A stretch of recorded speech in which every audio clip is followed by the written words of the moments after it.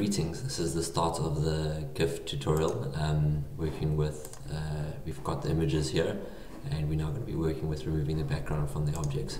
The three images that I've got are the panda, uh, DJ desk, and crowd. So I'm going to show you first by starting to edit with um, the actual physical panda. Uh, you would open up GIMP, uh, GNU Image Manipulation Program. Uh, known as GIMP, so you would edit it with that application. You'll notice I'm running 2.10, I think at the, you might be running an older version, but it's the same sort of thing. Um, I like to work on a single window mode. If single window mode's off, it separates the toolbar and then at the next thing.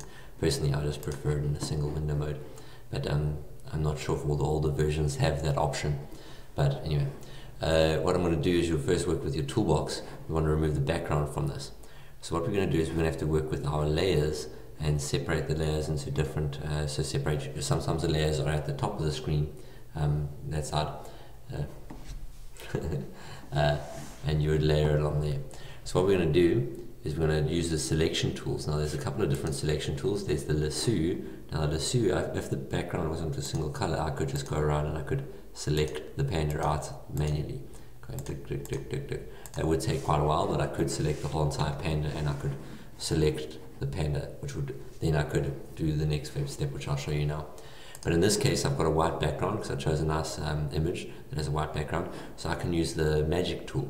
Now the magic wand, magic selector will do it on a color. Now you see here's a threshold, meaning that it's within the range of 0 uh, 15 within the color white. So it will select all color that's within the 15 range. So when I tap that, you'll see it selects all the whites surrounding. So whenever it's clear white through there, it will select the object. If I wanted to add to it, I would hold in shift and I could select another object to it. But I'm not going to add to it in this case. I'm just going to select the white background. But shift and click would add additional layers to it. Now I don't want to select the outside, I want to select the actual panda. So what I do is I right click and I say my selection and I'll change that to be reverse, um, invert, sorry which means it will be the exact opposites. Instead of selecting the outside of the panda, it's now selected the actual panda. So now on the panda, I can right click and I can say for the selection, I want to float the selection, which you'll see will add it to a new layer on your right hand side here. When I right click on this and I go to new layer, you'll see there now that I've got a panda layer. I can also now delete the background. So when I delete this layer, you'll see that now I've just got the panda with no background to it, so he can be more um, you can work directly with that. Now, I'm going to continue editing this panda by removing the, the bamboo from there. I'm not going to do that in this and in this video. The only thing I want to show you in this video is if, for example, I wanted to make the canvas bigger, I could go to image and I could scale image or go canvas size and I could change the canvas. So if I link the two, this just means it'll be in a ratio and I could make the canvas bigger or and, also so then I could resize the canvas to make it larger so and I could make a bigger background or bigger whatever so I can work with my final image along those lines.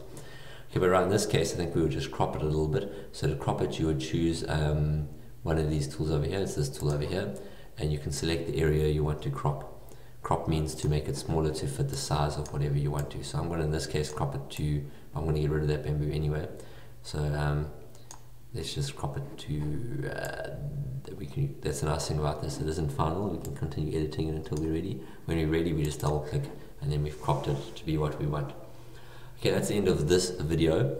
Um, in the next more detailed video if you want to look on this section um, you can go into uh, the next link below. Enjoy that. Well good luck with your editing